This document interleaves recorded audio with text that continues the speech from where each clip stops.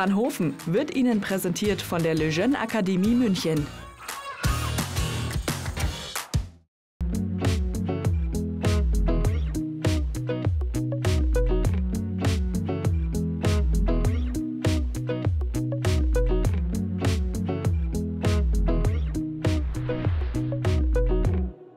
Ja, herzlich willkommen, liebe Zuschauer. Heute freue ich mich auf ein Gespräch mit Klaus von Donani. Herzlich willkommen, Herr von Donani.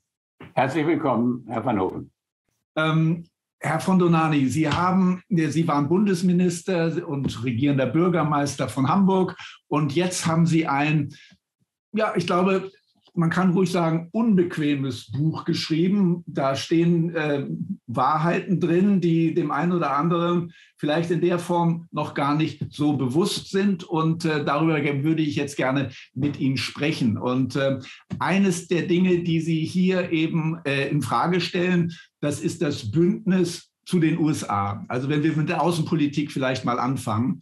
Ähm, und ich wollte da aus dem Buch kurz mal zitieren, was Sie da geschrieben haben. Es gibt im Establishment in Washington Leute, die seit Jahrzehnten nichts anderes im Kopf haben, als Russland weiter zurückzudrängen. Ähm, das mag in der geopolitischen Interesse von, von den Amerikanern sein, im Interesse der Europäer ist es nicht.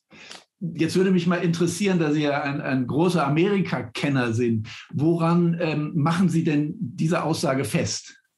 Ich mache die Aussage in erster Linie daran fest, dass die USA ja im Jahre 1990, als die Möglichkeit bestand, mit Russland sozusagen einen neuen Anfang zu machen nach dem Kalten Krieg, mit Gorbatschow und auch mit Jelzin und dann auch mit dem ersten, mit dem frühen Putin, der ja 1999 dann von Jelzin übernahm. Da hätte man natürlich den Russland entgegenkommen können in vielen Fragen. Aber stattdessen hat man von Anbeginn die Vereinbarung, die mit äh, Gorbatschow durch Baker getroffen war, nämlich die NATO nicht über Deutschland hinaus zu erweitern, das dennoch zu tun. Ob das eine schriftliche und eine richtige und eine verbindliche Vereinbarung war, darüber will ich gar nicht streiten. Da gibt es einen sinnlosen Streit nach meiner Meinung. Aber wichtig ist, dass man von Anfang an wissen musste, dass die NATO-Erweiterung ein riesiges, ein großes Sicherheitsproblem für, die, für Russland darstellt. Und dennoch haben die USA das einfach vorangetrieben, und zwar aus innenpolitischen Gründen.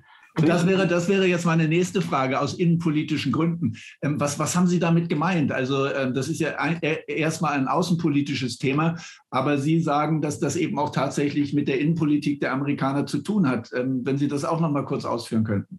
Ja, aber klar, Clinton hat äh, dem Jelzin gegenüber im Jahr 1997, 98 gesagt, lieber Kollege, ich äh, muss äh, die NATO-Erweiterung machen, um die nächste Wahl in den USA zu beginnen. Steht übrigens auch in meinem Buch. Und dann hat Jelzin aber gesagt, aber ich kann dem nicht zustimmen, weil das wäre Verrat an meinem Volk, hat Jelzin wörtlich gesagt, so wörtlich zitiert bei Burns, dem heutigen CIA-Chef von Biden. Mhm. Und daraufhin hat, hat äh, Clinton dann gesagt, na gut, dann werde ich das verschieben nach ihrer Wahl, aber dann muss ich es dennoch machen. Und dasselbe Problem haben wir natürlich jetzt gehabt im vergangenen Dezember, als äh, Putin vorgeschlagen hatte, wir müssten über diese Sicherheitsfragen in Europa erneut diskutieren, denn die Welt hat sich total verändert. Damals hat er die Frage der Mitgliedschaft der Ukraine in der NATO in den Mittelpunkt seiner Interessen gestellt. Und dann haben die USA geantwortet, über diese Frage werden wir mit euch gar nicht reden, wir machen das dennoch. Aber trotzdem ist es also für, für jemand meiner Generation, ich glaube auch erst recht Ihrer Generation, natürlich ähm, erstmal schwierig zu verstehen, warum Sie das Verhältnis, das Deutschland mit den Amerikanern hat, als Missverständnis darstellen. Haben wir da nicht viel zu viel Dankbarkeit den Amerikanern? Dankbarkeit und Interessen sind zwei ganz verschiedene Dinge. Äh, wir müssen unsere Interessen sehen und da spielt Dankbarkeit eine untergeordnete Rolle. Entscheidend ist, was ist heute für Deutschlands Sicherheit und für Deutschlands Zukunft wichtig. Und da muss man erkennen, dass wir in einem gefährlichen Maße von US-Innenpolitik abhängig sind. Der frühere unter Trump äh, für, ich glaube, zwei Jahre oder so, etwa so anderthalb Jahre, zuständige Minister für Verteidigung in den USA, Mark Esper, hat in den letzten Wochen ein interessantes Buch veröffentlicht. Und in dem zeigt er, wie stark die innenpolitischen Bedingungen und die Außenpolitik auch unter Trump bewegt haben. Und das ist hochriskant für uns, hochriskant weil ähm, die USA wählen alle zwei Jahre, sind also im Grunde genommen außenpolitisch kaum handlungsfähig, weil immer wieder sozusagen äh, die nächste Wahl eine große Rolle spielt. Das ist eine, ein Verhängnis für die USA. Die können das nicht ändern, wir wissen Sie selbst, weil das in der Verfassung steht und die, die Verfassung so schwer änderbar ist. Aber im Kern ist das Problem, dass die USA ihre Außenpolitik in hohem Maße von ihrer Innenpolitik abhängig machen müssen. Und das ist für Europa und für Deutschland eine gefährliche Situation. Ähm, in dem Zusammenhang schreiben Sie dann eben auch, dass also ein, ein, die, die NATO-Politik ähm, die einen größeren Krieg in Europa in Kauf nähme, äh, die Amerikaner nicht verletzen würde. Aber glauben Sie denn, dass das tatsächlich in der letzten Konsequenz dann auch bedeutet, dass ähm, die, die ähm, Amerikaner, dass das kompromisslose NATO-Engagement der, der Amerikaner ähm, für Europa dann tatsächlich ausbleiben würde, wenn es spitz auf Knopf käme? Nicht, dass es ausbleibt. Aber ich will mal es in der Gegenwart beginnen. Die USA haben gesagt, sie verteidigen die Ukraine. Hm. Was ist denn das Ergebnis? Der Krieg wird nicht in den USA geführt zur Verteidigung, sondern nur in der Ukraine. Die USA halten sich mit Recht dort heraus, weil es sonst noch gefährlicher würde. Aber im Grunde genommen wird ein Krieg dort geführt mit der Zerstörung der Ukraine. Und Henry Kissinger hat schon im Jahre, ich glaube, 68 in einer sehr intensiven Reflexion über die nukleare Abschreckung in der nächsten Zeit, also lange her, hat er geschrieben, da wir ja nukleare ähm, Sprengköpfe nicht einsetzen werden, weil wir dann selber getroffen werden, übrigens hat auch Biden das jetzt nochmal gesagt, mhm. werden wir den Krieg immer auf dem Lande, das betroffen ist, führen müssen. Das ist schade, aber so ist es. Und deswegen glaube ich, dass wir eben heute in einer Lage sind, in der die USA, wenn es zu einem größeren Krieg, zu einer Ausdehnung des Krieges in Europa käme, zwar wieder Truppen schicken würden, das ist sicher richtig, aber Deutschland würde erneut zerstört werden. Und ich habe in meinem Buch ja über eine NATO-Übung berichtet und äh, vielleicht können Sie sich auch daran erinnern. Ja, ich würde, aber dann, dann können wir das Thema Amerika, naja, kann man nicht abschließen, weil es natürlich überall reingreift. Ja, aber, richtig, ja. Ähm, trotzdem, also weil Sie ja betonen, wir, wir, wir sollten Abstand äh, zu den USA äh, wagen, sagen Sie in Ihrem Buch. Und ähm, nicht etwa. Nicht Abstand bewahren. Wir sollten offen mit den USA darüber reden, dass die Sicherheitsinteressen der USA nicht die Sicherheitsinteressen Europas sein können. Das ist, dazu brauchen wir ja keine politische Wissenschaft. Wenn ein Land 6000 Kilometer und vom Atlantik von uns getrennt ist, dann hat es natürlich andere Sicherheitsinteressen als wir. Aber Sie haben das Thema Ukraine angesprochen und deshalb ähm, würden Sie das denn auch nach dem russischen Angriff auf die äh, Ukraine so, ähm, so deutlich nochmal formulieren? Ja, ich behaupte jetzt sogar gemeinsam mit dem früheren äh, Botschafter der USA in Moskau, Jack Matlock, der ja dann nach seiner Amtszeit ein weltberühmter Professor für diplomatische Geschichte an dem Princeton Institute für Advanced Studies wurde, wo ja auch Einstein gelehrt hat. Und der hat in den letzten Wochen einen Artikel geschrieben und der lautet am Anfang etwa so, der Krieg in der, Urane, äh, in der Ukraine ist eine Scharade US-amerikanischer Innenpolitik weil die Innenpolitik sozusagen von den von beiden erwartet hat, dass er härter sei, als er eigentlich in den Verhandlungen hätte sein müssen. Und er hat ja abgelehnt zu verhandeln beiden. Nun, nun, weiß ich, nun weiß ich, also wenn ich mir das von Ihnen so jetzt alles anhöre und ähm, weiß ich ja von Ihnen, dass Sie in, in Amerika studiert haben, in, in, Yale haben Sie sogar einen ähm, Bachelor gemacht und dann haben Sie da auch gearbeitet in Detroit. Und ähm, würden Sie sich denn heute ähm, als, als enttäuschter Transatlantiker bezeichnen? Nein. Ich bin ein, äh, mit dem Herzen immer eng bei den USA. Aber die USA machen eine falsche Politik. Und wenn ein Freund einen Fehler macht, muss man ihm das sagen.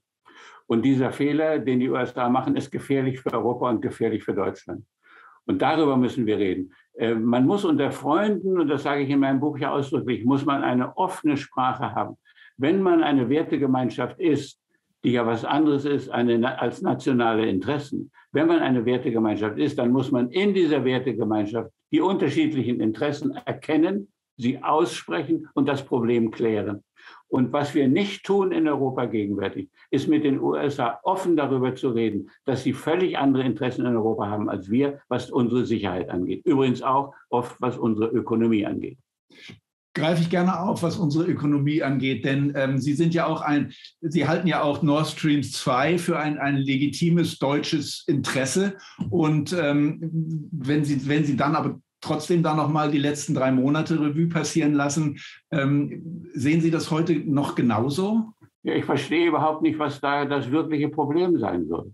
Wir haben in der Vereinbarung über Nord Stream 2 mit der Ukraine vereinbart, dass äh, kein, äh, äh, keine niedrigere Öllieferung und keine geringere Gaslieferung über die Ukraine erfolgen würde, wenn Nord Stream 2 gebaut wird. Das gibt eine ausdrückliche Vereinbarung, dafür hat Frau Merkel ausdrücklich gesorgt. Mhm. Also bestand gar kein Problem, das als eine Bedrohung zu sehen. Wo war denn die Bedrohung? Wo war denn die Bedrohung? In Wahrheit ist es doch so, Herr van Hofen, dass wir nicht so abhängig sind von russischem Gas, wie Russland offenbar abhängig ist von der Lieferung von Gas an uns. Denn wenn wir jetzt an eine Sanktion gegenüber Russland nachdenken, dann können wir offenbar auf das Gas verzichten, aber glauben, dass wir Russland schmerzhaft treffen, wenn wir die Gaslieferungen stoppen. Das heißt also, es gibt eine gegenseitige Abhängigkeit und die gibt es in der Globalisierung immer. Und ich würde sogar behaupten, wir sind von den USA abhängiger, als wir von Russland sind. Mhm.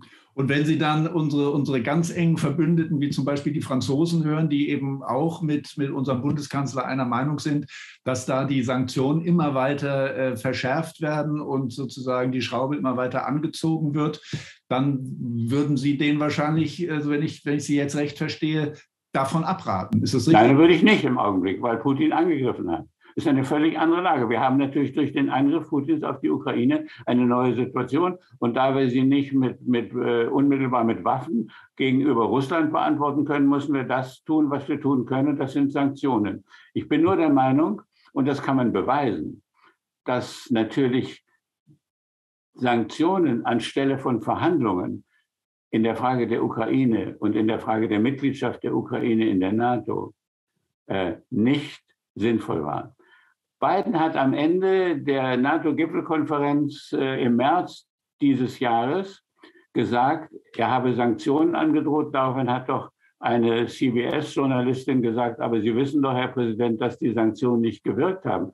Daraufhin hat er gesagt, Sanktionen wirken nie mhm. im Sinne von Frieden, also Deter die abschrecken oder Sanktionen schrecken niemals ab. Also er wusste, dass er ein zur Verhinderung des Krieges völlig untaugliches Mittel benutzte, anstatt zu verhandeln. Das finde ich eine große Sünde und ich schriebe, schreibe damit auch den USA einen erheblichen Anteil daran zu, dass wir heute in dem Kriegszustand sind. Ich bin fest davon überzeugt, man hätte es durch Verhandlungen über die Ukraine auch verhindern können es geht ja, es geht ja im Grunde genommen um, um die Osterweiterung schlichtweg. Ne? Also äh, nach, nach 91 ähm, sind dann eben Estland, Lettland, Litauen, äh, Rumänien, Bulgarien, der alte Ostblock ähm, hat sich der NATO zugewandt. Ja? Jetzt kann man natürlich sagen, Bush und Gorbatschow haben sich auf was äh, geeinigt, das eben nicht aufgeschrieben wurde. Da gibt es kein Dokument, aber äh, Worte zählen halt auch. Aber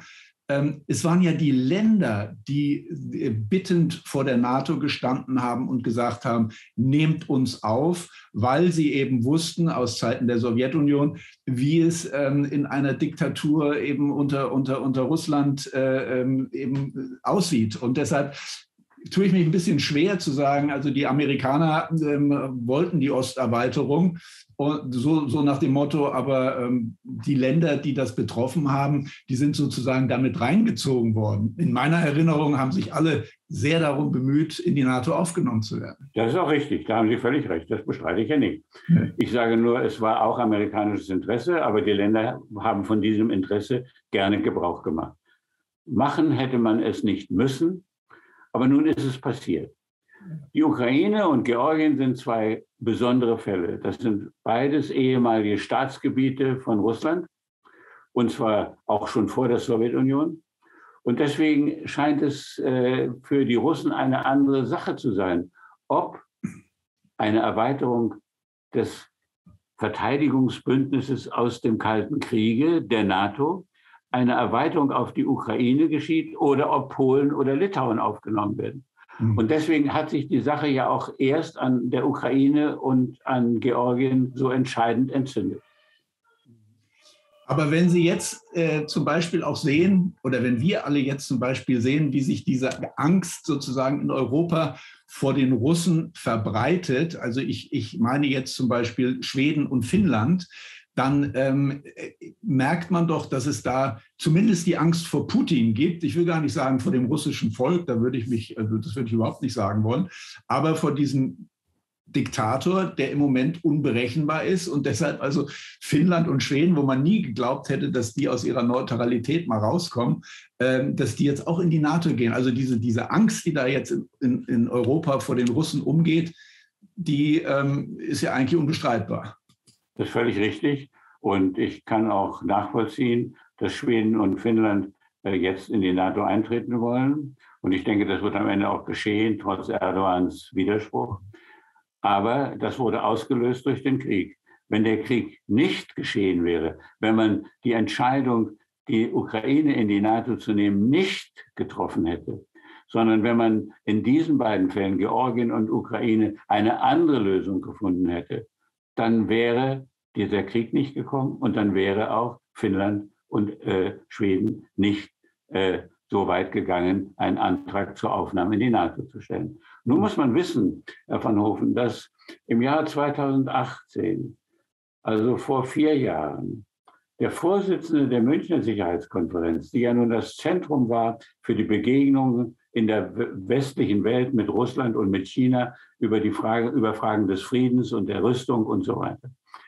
Der Vorsitzende dieser Münchner Sicherheitskonferenz, Wolfgang Ischinger, hat ja. im Jahre 2018, steht alles in meinem schönen Buch, ja, ja. geschrieben, steht alles in meinem schönen Buch, geschrieben, äh, wir haben längst im Westen entschieden, entschieden, dass die Ukraine nicht in die NATO kommen wird. Und wir werden, so wie die Amerikaner das vorgeschlagen haben, übrigens auch der heutige äh, Präsident der CIA, der CIA, der Chef der CIA in den USA, wir werden stattdessen eine andere Vorsorge für die Sicherheit der Ukraine finden, aber nicht in der NATO. Und dass die USA diesen äh, im Westen offenbar längst feststehenden Beschluss, übrigens auch von der Rand Corporation dann noch kurz vor Kriegsbeginn bestätigt, also der amerikanischen Planungsorganisation der Rand Corporation bestätigten, Entscheidung des Westens, die Ukraine darf nicht in die NATO kommen, weil das Gefahren des Krieges auslöst, dass die USA das dennoch betreiben. Das verdanken wir diesem Establishment in Washington, von dem ich gesagt habe, für die sozusagen der Kampf gegen Russland Abend, das Abendgebet ist und dass wir dann am nächsten Tag noch, noch einmal nachbeten. Und das ist ein Fehler und darüber muss zwischen Deutschland und den USA geredet werden und auch zwischen der EU und äh, den USA. Was, was will denn dieser Zirkel, von dem Sie sprechen, der da interessiert ist, äh, Russland äh, weiter zurückzutreiben? Also äh, was, was ist denn der Sinn der Sache? Ist es die Waffenindustrie weiter zu fördern oder, oder was, was ist, sind da Ihre, Vermutungen? Das ist schwer zu sagen, wie weit die Waffenindustrie dahinter steckt. Ich glaube nicht in erster Linie. Ich glaube, in erster Linie steckt dahinter eine seit 150 Jahren bestehende äh, Auffassung in den USA, Russland sei das Evil Empire und man müsse das zurückdrängen und bekämpfen. Und diese Auffassung wiederum ist auch verwandt mit der britischen Tradition, Russland als einen gefährlichen Feind zu betrachten. Warum?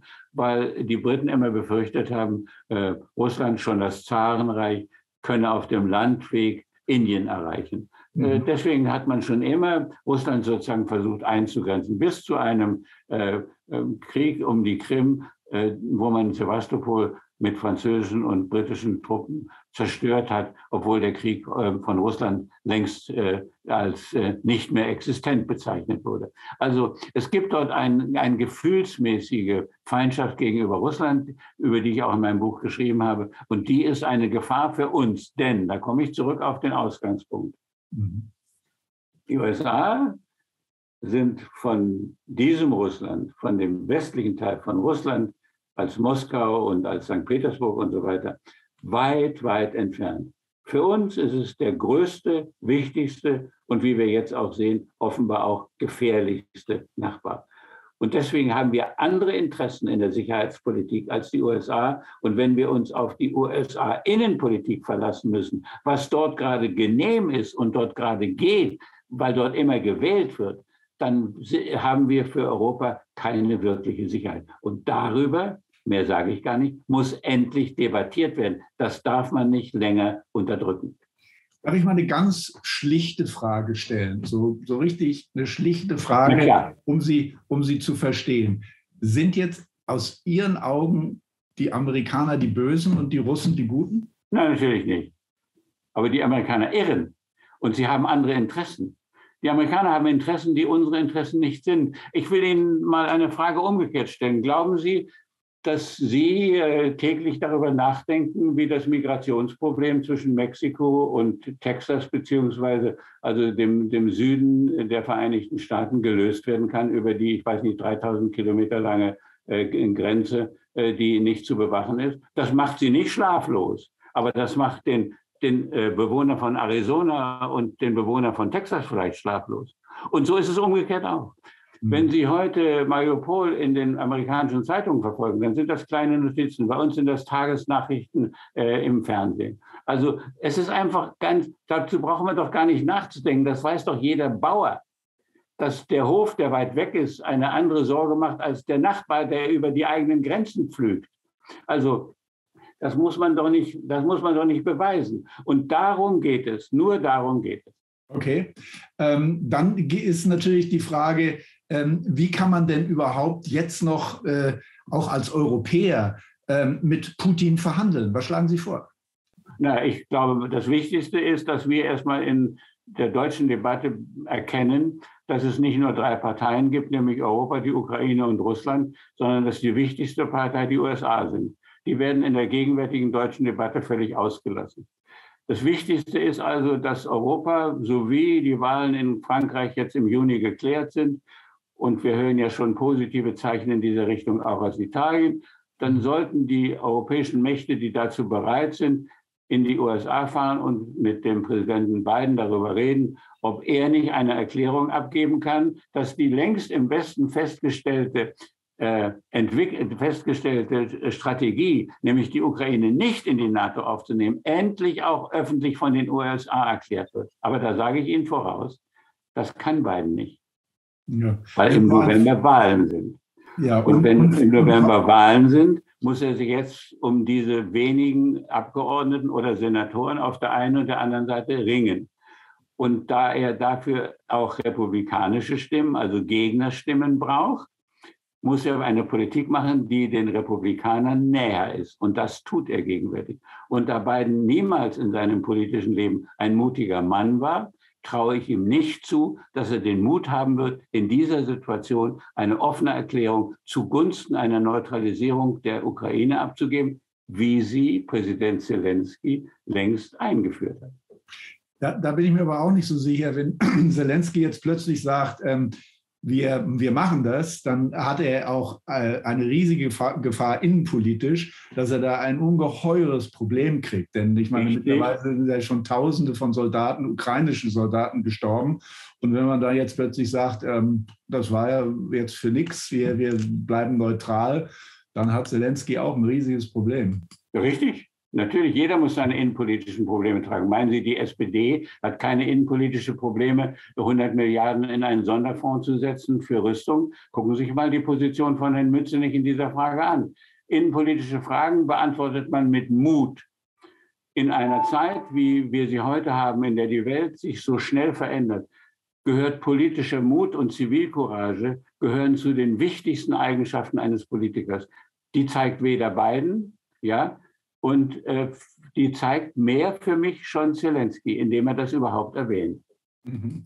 Ähm, also wo Sie jetzt schon die innenpolitischen Probleme der SPD ansprechen, muss ich natürlich Ihre, Ihren Eindruck äh, erfahren, ähm, was, was Sie von dem Versuch des Altkanzlers Gerhard Schröder gehalten haben, als der versucht hat, mit Putin äh, ins Gespräch zu kommen. Naja, also ich fand es am Anfang sehr gut, was Schröder gemacht hat, weil ich es immer gut finde, wenn man äh, eigene Leute hat, die auch Einfluss auf die andere Seite haben. Und da Russland, wie wir heute sehen, offenbar auch ein gefährliches Land war, habe ich immer begrüßt, dass er das macht. Ich habe allerdings auch immer, ohne ihn hier jetzt kritisieren zu wollen, weil das seine Entscheidung war, ich war immer der Meinung, er hätte dafür kein Geld nehmen sollen. Dann hätte er seine Position wesentlich stärker gemacht.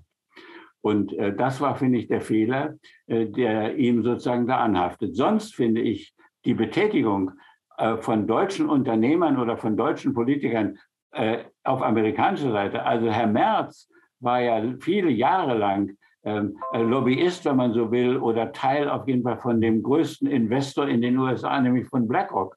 Also ähm, äh, der war auch auf der USA-Seite. Warum soll nicht, äh, wenn in Russland nun die Unternehmen sehr viel Staatsunternehmen sind, das ist nun mal russische Struktur, ein Deutscher auch sich da betätigen? Also das finde ich überhaupt äh, eher gut, wenn man äh, grenzüberschreitende äh, Personen hat, die auch die Interessen der anderen Seite vermitteln können. Aber wie gesagt, äh, Schröder hätte sich einen größeren Gefallen getan, wenn er dafür kein Geld genommen hätte und hätte das in eine Stiftung gebracht. Ja, aber ich sage jetzt mal so, dass das für ihn natürlich auch eine große Motivation war, äh, bei Gazprom einzusteigen. Also ja, ist in Ordnung. Aber eben, wenn das Geld, was davon da kommt, in eine große Stiftung für deutsch-russische Kulturbeziehungen gesteckt worden wäre, dann hätte er heute nicht diese Probleme. So will ich sagen. Absolut, absolut. Kurze Pause, gleich geht's weiter mit Van Hofen, präsentiert von der Lejeune Akademie.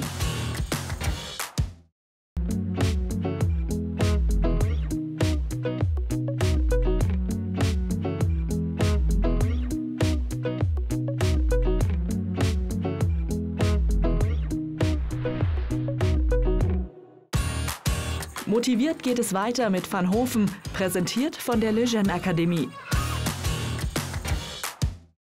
Ähm, Herr von Donani, Sie ähm, machen ja noch einen größeren Kreis und äh, da gibt es ja noch eine Macht, über die wir überhaupt noch nicht gesprochen haben, und das ist nämlich China. Inwieweit glauben Sie, dass ähm, über diesen Strang, also vielleicht äh, unser Problem hier in Europa, was wir im Moment haben mit der, mit der Ukraine, mit dem Angriffskrieg der Russen, dass, dass da diese Großmacht ähm, eventuell in unserem Interesse vielleicht auch ähm, eine Wortmeldung mal abgeben würde? Das kann ich nicht beurteilen. Ich habe versucht, in meinem Buch auch China einzubeziehen und die Interessen von China zu verstehen, habe aber ausdrücklich auch geschrieben, dass da ich weder Chinesisch kann noch äh, sozusagen in China lange gelebt habe, bin ich nicht in der Lage, das wirklich zu beurteilen. Ich habe das aus den Quellen, die mir zur Verfügung stehen, abgeleitet und festgestellt, dass China in der Regel nicht militärisch expansiv ist. Mhm. Und äh, das, glaube ich, entspricht chinesischer Geschichte und entspricht auch der chinesischen Politik der letzten Jahrzehnte. China ist ein Land, das eine, äh, einen großen Schritt getan hat, um äh, aus einer Vernachlässigung, aus einer Kolonisation durch den Westen im 19. Jahrhundert und so weiter sich befreit hat und äh, auch einen großen Fortschritt im Wohlstand seiner Bevölkerung erreicht hat. Auf eine Weise, die uns nicht verträglich ist, aber die man in einem Land wie China ja auch anders sehen muss, das ja auch eine andere Sozialstruktur, andere ähm, Differenzierung zwischen den Sprachteilen und so weiter hat. Also ähm, insofern glaube ich, hat China eine große Leistung erbracht. Was China in Europa heute tun könnte, äh, kann ich nicht sehen. Ich glaube, China äh, ist heute mit Russland nahezu verbündet. Das ist ein Ergebnis US-amerikanischer Politik. Wir haben es erreicht, dass Russland auf die Seite Chinas gedrängt wurde. Brauchen Sie nur bei dem heutigen CIA-Chef von Herrn Biden, also bei dem Geheimdienstchef von Herrn Biden, Herrn Burns, nachzulesen. Da steht das alles drin. Wir haben das erreicht. Durch unsere Politik gegenüber Russland haben wir Russland an die Seite Chinas gedrängt. Und das halte ich allerdings auf die Dauer für gefährlich, wenn es im Osten nämlich in, zwischen China und den USA, zu Auseinandersetzungen kommen könnte. Mhm.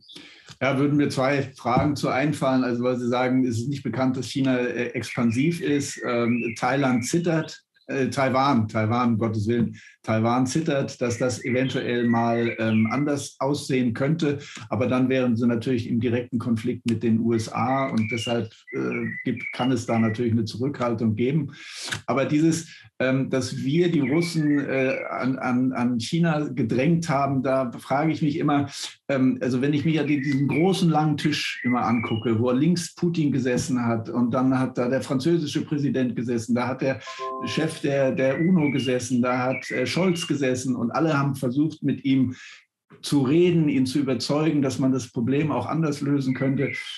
Ich habe immer so das Gefühl, da ist viel passiert im Vorfeld. Ja, aber doch sehr spät die Entwicklung zwischen China und, und Russland, die ist 20 Jahre her. Das, das war ein, eine, längst bevor äh, diese Bilder, die Sie an dem langen Tisch jetzt hier wieder zurückrufen, längst bevor diese Bilder gemacht wurden, gab es ja ein Militärbündnis zwischen Russland und China. Und warum?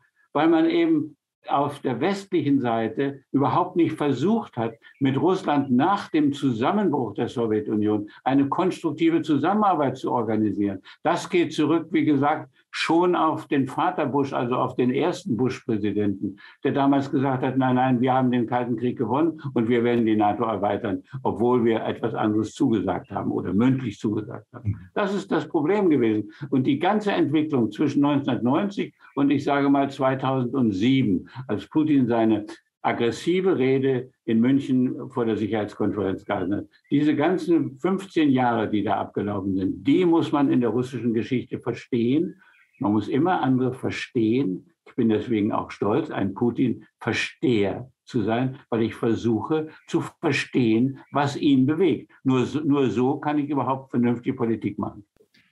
Wenn Sie ein Putin-Versteher sind, dann verstehen Sie vielleicht auch, wie weit er gehen wird. Haben Sie da eine Vorstellung? Ja, habe ich. Er wollte weder Polen angreifen, noch Deutschland, noch Litauen, hat er alles nicht gesagt. Er hat in seinem Papier, was er am 17. Dezember 2021 vorgelegt hat, hat er gesagt, er wolle wissen, wie dort die Bewaffnung ist, weil es da aus dem Jahr 97, 1997 eine Vereinbarung über die Waffen gibt. Darüber hätte man reden und verhandeln können.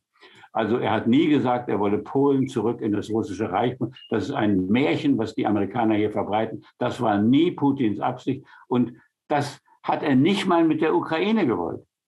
Er wollte von der Ukraine lediglich eine feste Zusage über zwei Dinge. Erstens, dass sie das Minsk-Abkommen einhalten. Und das heißt, dass der Teil, der extrem russisch ist, nämlich der sogenannte Donbass, also die Ostgrenze sozusagen der Ukraine, dass der eine Autonomie, eine Selbstverwaltung bekommt, wie die Ukraine das versprochen hat. Und zweitens, dass die Ukraine als Ganzes dann nicht in die NATO kommt. Und wenn man das gemacht hätte, wäre das alles nach meiner festen Überzeugung nicht passiert. Und ich glaube, das kann man beweisen. Also, also nach, nach dem, ich sage auch mal, Überfall äh, auf der Krim war Ihnen dann auch ähm, klar, dass das sozusagen der Zeitraum überschritten ist, wo man mit Putin hätte noch verhandeln können? Nein, das ist nicht richtig. Die Krim war wirklich ein ganz besonderer Fall von dem selbst Helmut Schmidt damals gesagt hat, er habe Verständnis für den russischen Präsidenten. Die Krim ist ein uraltes russischer Teil Russlands. Und ähm, äh, wie gesagt, ich habe von dem Krimkrieg aus dem Jahr 1853 vorhin auch schon mal gesprochen. Ja. Also es kommt äh, darauf an, wie man die Krim betrachtet. Und der Krim hat es im Übrigen ja auch nach 1990, also nach der Verselbstständigung der Ukraine, nach dem Ausscheiden der Ukraine aus der Sowjetunion, aus dem alten Russland, gab es ja auf der Krim auch starke Bewegungen äh, und ein Referendum, äh, das ganz eindeutig auf der Seite der russischen Zugehörigkeit war. Dieses Referendum könnte man auch heute, das wäre auch ein Vorschlag von mir gewesen, nochmal nachholen. Ja, ist denn, also das ist ja auch in Ihrem Buch thematisiert, diese, diese kleinen Nationalitäten, die sich jetzt also überall in, in Europa sozusagen breit machen. Ist das etwas zu befürworten oder, oder macht es nicht, nicht Europa viel zu kompliziert? Also ähm, wenn wir zum Beispiel das Baskenland nehmen oder überall da, auch in Irland und überall da, wo es Bewegungen gibt, ähm, sich, sich sozusagen ähm, ein, ein eine kleine Selbstständigkeit äh, zu, zu holen, zu erkämpfen. Ähm, wie sehen Sie das? Sie können, Herr Van Hoven, das Leben nicht befürworten und auch nicht aufhalten. Das ist die demokratische Entwicklung in der Welt, die zur Selbstbestimmung führt. Darüber gibt es ein kurzes Kapitel bei mir. Ähm, äh, Dan Roven, den ich da zitiere, der Don Roven, der hat das ja sehr gut äh, in einem, einer Publikation der Yale-Universität äh, dargelegt. Es gibt eben eine grundsätzliche Tendenz in der Welt zur Selbstbestimmung. Wir hatten, als ich mal in der Politik angefangen habe, glaube ich, 80 Nationen in der, in der Welt. Jetzt haben wir 200 fast. Woher kommt das? Immer mehr Teile haben verstanden, sie wollen sich lieber selbst regieren. Und äh, das können sie nicht aufhalten. Äh, sie können dabei nur dann Lösungen finden, die mit der sogenannten Autonomie verbunden ist. Also, Sie können das Baskenland in Spanien halten, ihm aber Selbstverwaltung geben. Sie können Katalonien und Barcelona in Spanien halten, ihm aber Selbstverwaltung geben. Sie können Korsika im Bereich Frankreichs halten, aber ihm eine Selbstverwaltung geben, weil Korsisch eben auch eine besondere Sprache ist und so weiter. Und das heißt, sie hätten auch die Ukraine zusammenhalten können, wenn man das gemacht hätte, was die Ukraine ja versprochen hatte, nämlich das Baskenland autonom zu machen. Und darüber nicht das Baskenland, eine, nicht das Baskenland. Nein, nicht, Entschuldigung, ja. äh, die, den, den, Donbass, so wollte ich sagen, ja. den Donbass autonom zu machen. Und ähm, diese äh, diese Zusage, die die Ukraine hier gegeben hat, die hat die Ukraine torpediert. Sie hat sie bewusst nicht eingehalten.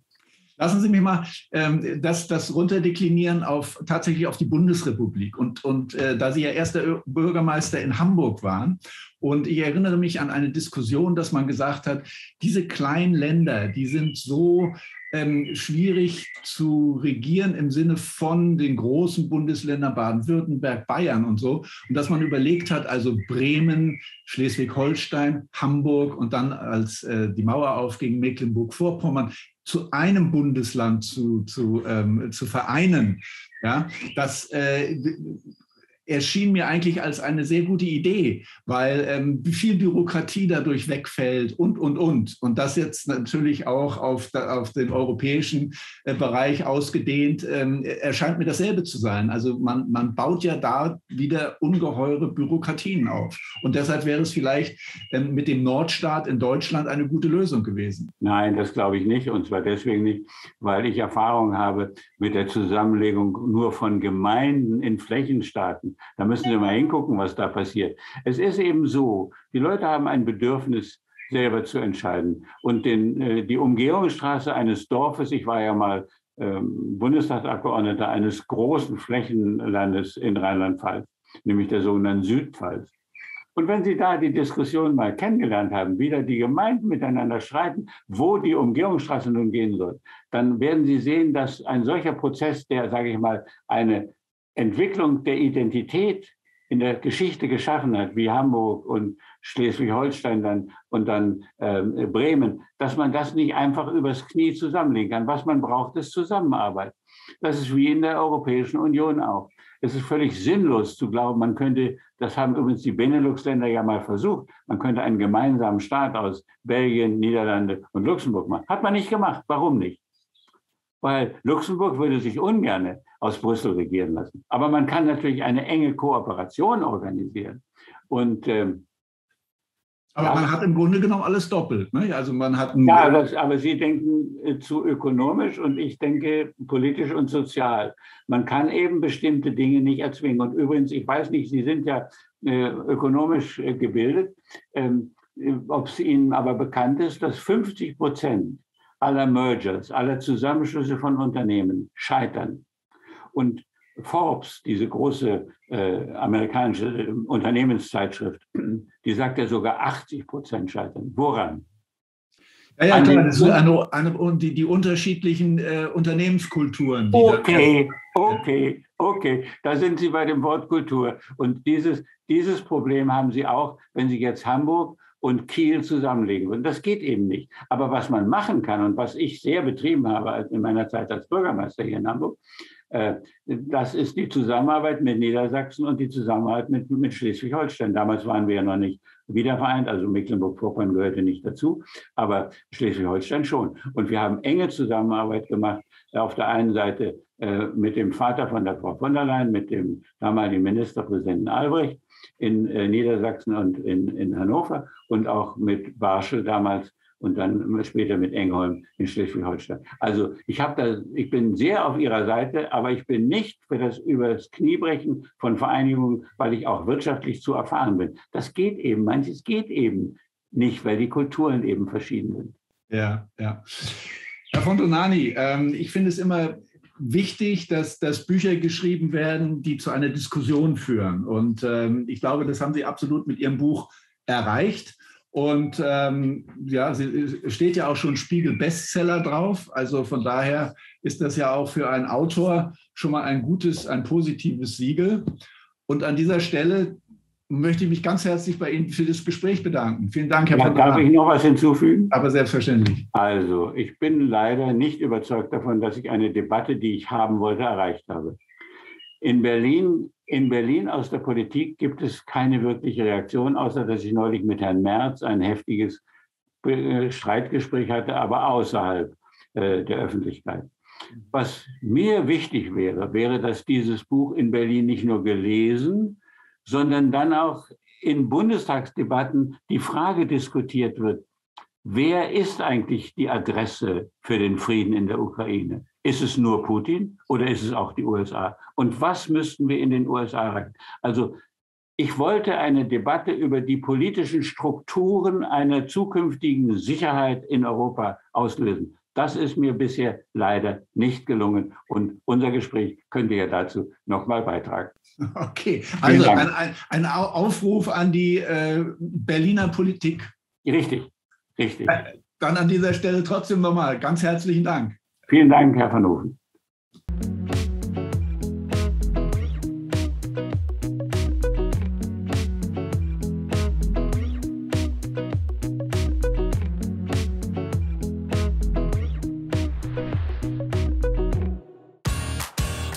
Van Hofen wurde Ihnen präsentiert von der Lejeune Akademie.